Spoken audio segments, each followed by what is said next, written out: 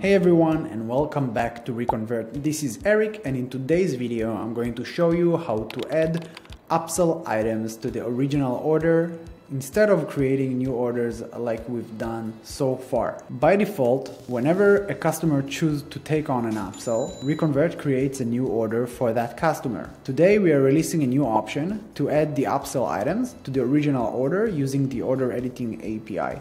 In order to add upsells to the original order, just head over to the Reconvert dashboard. At the top menu, select Settings, General Settings, and scroll all the way down to order settings. Now, as you can see, by default, it's set to create a new order, but we want to add the upsell items to the original order. So I'm just gonna select this option. Now, some additional options show up in here.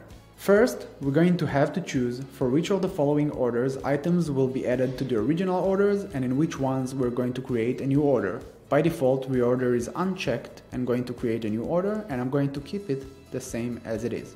If we keep scrolling down, we're going to see the items reserve time. Whenever customer chooses an upsell, is going to be redirected to the checkout to complete the payment for the additional items. Sometimes, just like abandoned carts and abandoned checkout, the customer is not going to complete the order. And in order to prevent a mismatch in analytics, fulfillment, and payment statuses, we've added this option to remove additional items if the payment wasn't completed during the item's reserve time.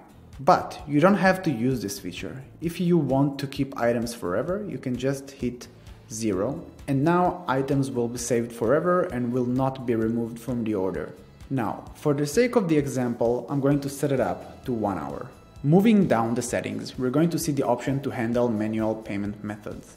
As we mentioned before, the way for us to decide whether or not to remove the added item is based on the payment status of that product. Whenever using manual payment methods such as cash on delivery, Afterpay, Klarna and more, the payment status might not change until the customer gets the product, even if it chose to complete the order. In order to avoid fulfillment mess up and analytic mismatch, we're giving you the option to either create a new order or hide the widget when a manual payment method is used during checkout. For the sake of the example, I'm just gonna keep it with create a new order. The last part we need to configure is handle fulfilled orders. By default, Shopify doesn't allow us to edit fulfilled orders, so you can choose whether to create a new order or just hide the widget instead. I'm gonna keep it the same as it is and I'm going to click save. From now on, upsell items will be added to the original order instead of creating a new one. Let me show you an example. I will change the item reserve time to 1 minute so I can show you how it looks like when we add and remove items from an order. I'm gonna hit save.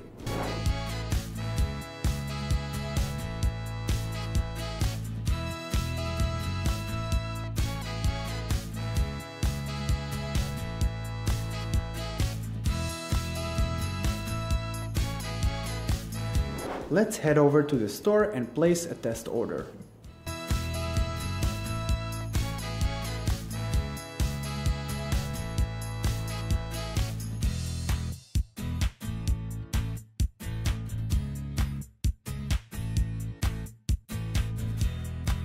Great, so I've completed my test order and as you can see I've set the thank you page to display the same product purchased with an additional 30% off if they purchased one more right now. Now, what we've done is instead of creating a new order, we're going to add this item to the original order number 1006. Let's see how it looks like.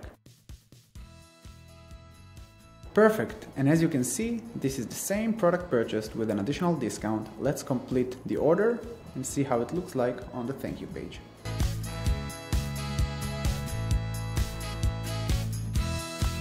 Perfect, so we've completed the first order and added the upsell to the original order. As you can see, it said that the order was updated today and the last thing that I want to show you is how it's going to look like when we try to edit the product but the item reserve time is expiring. Let me show you. First, if we head over to the orders section on Shopify, you can see that order 1006 is now paid. Whenever I click the buy now button, we use the order editing API in order to add this item into the order.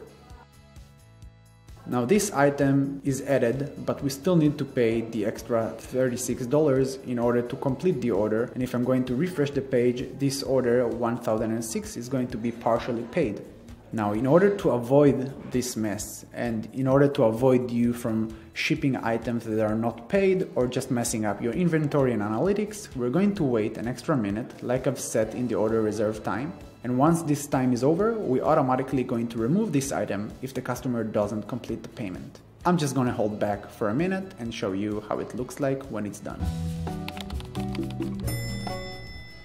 Okay, so it's been a minute and I haven't completed the purchase. Reconvert now automatically removed the added items. If I click here, you can see one item was added and one item was removed. If I head over back to the Shopify order page, I can scroll down and see that one item was added and one item was removed. If I scroll down to the timeline, I can see all the history of the order and there are basically three edits. The first edit was when we added the first item and completed the purchase. In this case, Reconvert did not remove the item that was added to the order. The second edit was the second upsell that we wanted to take, but after the reserve time was expired and the payment wasn't completed, there is another edit by Reconvert removing the additional item.